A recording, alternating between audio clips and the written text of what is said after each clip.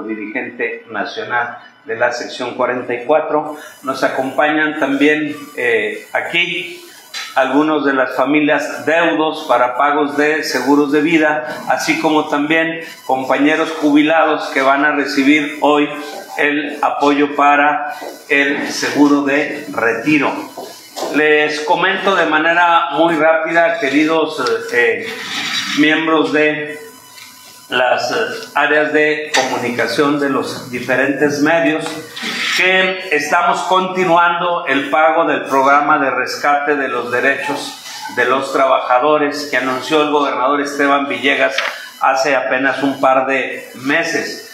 Ustedes saben cómo recibió Esteban Villegas, eh, en especial la Secretaría de Educación, con unas deudas eh, muy mayores que ocasionó que por años los dejaran sin algunos de los derechos a los que tenían eh, o sus familiares o bien los propios jubilados.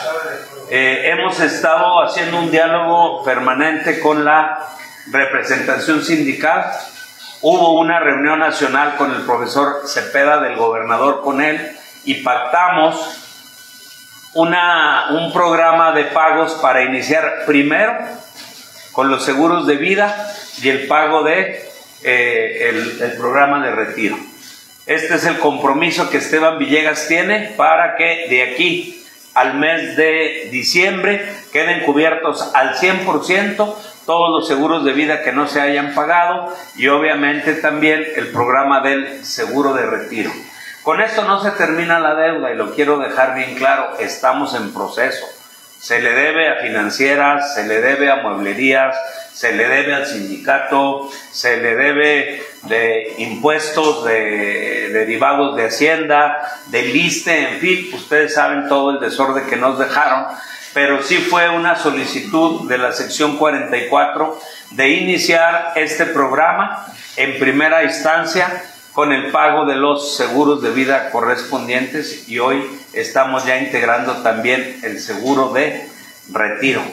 Eh, lo comento y lo digo porque los pagos van a continuar de acuerdo a la programación que ya teníamos pactada con la sección 44 y aprovecho que están aquí los medios de comunicación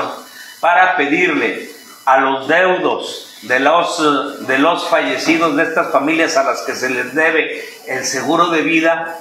que no acudan con gente a quererlos representar y a llevarlos al camino de la confusión y del conflicto. Nosotros como Secretaría de Educación, los pagos que se están realizando del programa que hicimos de recuperación de los derechos laborales solo será cubierto a través de las representaciones sindicales legalmente constituidas, que es la sección 44, la sección 12 y la sección 35, para que no caigan en falsas representaciones o en engaños de cosas que llevan luego solo a conflictuar un programa que tenemos establecido donde el compromiso de gobierno es recuperar el derecho que les fue quitado y dejar estos pagos terminados en, la, en el menor tiempo posible.